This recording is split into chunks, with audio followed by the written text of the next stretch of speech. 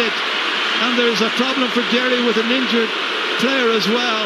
Shane Ryan, the scorer, 1-8 to 1-7. And we'll have a look at it again in just a moment. Yeah, the Derry supporters are very unhappy. That. When Shane Ryan got the ball, he knew that Shane McGuigan was coming in. He turned his body. He, for me, he was. He knew exactly what he was doing. He knew he was going to take the ball